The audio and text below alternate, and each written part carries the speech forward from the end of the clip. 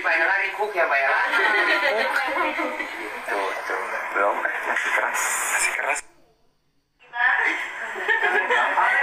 Mbak Ella langsung dimasakin sama tetangga kita. Jadi Mbak Ella recook ya Mbak Ella.